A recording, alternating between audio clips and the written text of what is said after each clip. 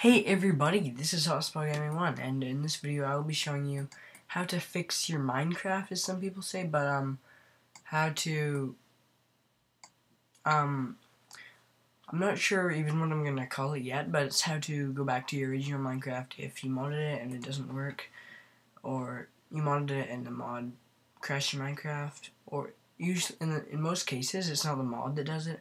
It's you installing the mod because in my videos someone requested this video but not to sound like obnoxious or anything but it's usually just because you might you did something wrong in the installation process.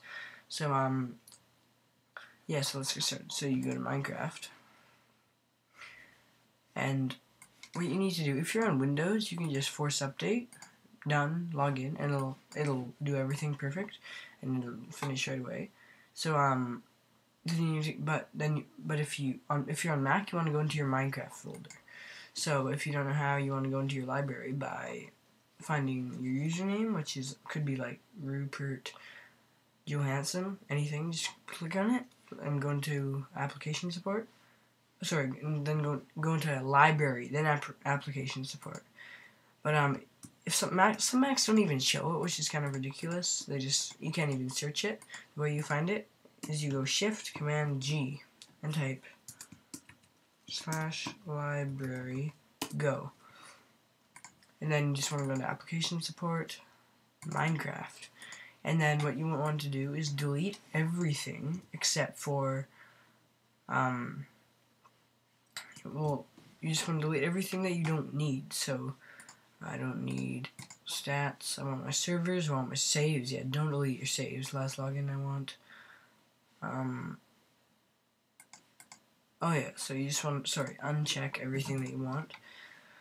Um, and you definitely want to delete your bin. That will make the thing, make the biggest difference. So um, then just drag them into the trash.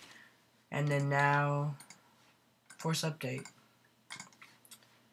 This uh, is a very simple process and process, sorry, because here in Canada we say process, not process. Same with leisure, not leisure. You know, you know what I mean. Okay, well anyway, see there it is back to 1.4.7 normal, and it's the exact same for any version. Not even that's why I didn't mention what version it was. It's just how to fix your Minecraft. Okay, thank you for watching and goodbye.